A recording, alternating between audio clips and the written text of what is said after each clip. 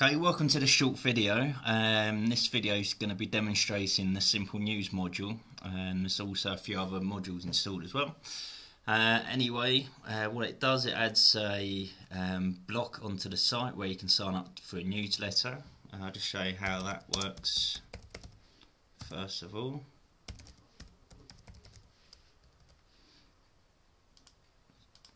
Click subscribe.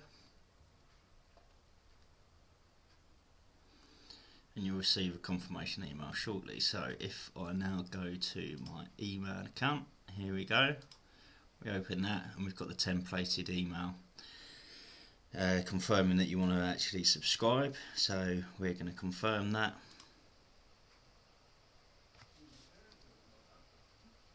Are you sure you want to add this email address? Yes. Subscribe. Okay, so there we go. That's how um, uh, customers would subscribe to an emailing um, list. Um, and the reason we have an email, it, it, doubles up the security so that you don't end up with lots of spam email accounts going out that's going to uh, distort your M figures.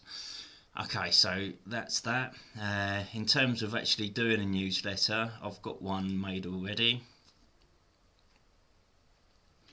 Uh, first uh, test newsletter and the way that you do it is just like editing any other page on the site. Um, so if you just create a new one you'd go add content newsletter and um, we just go edit.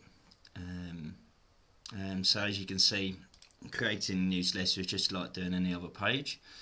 Uh, you can add images etc and uh, style the font. Once you're happy with that you just go and save the page. And then we've got a newsletter tab so we can click newsletter and we can send one test newsletter uh, to whatever address you want and you can separate them by commas. Uh, very well worth doing is uh, testing each newsletter in Gmail, Hotmail, um, Yahoo and any other email clients that you're interested in.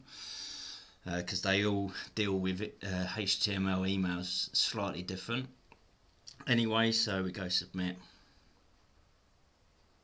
go back to our inbox and we can see Moody Moore's first test newsletter. Click on that and here's the contents of the page. Um, once again inside the template. Um, every single link in the email has got tracking installed on it. Uh, so we're going to be able to track if anyone clicks on any of the uh, links at all. And that is essentially it. Um, and the, you know the rest of it's as you'd expect it to be if you was unsubscribing. Uh, hope you enjoyed the quick video, and uh, see you on the next one.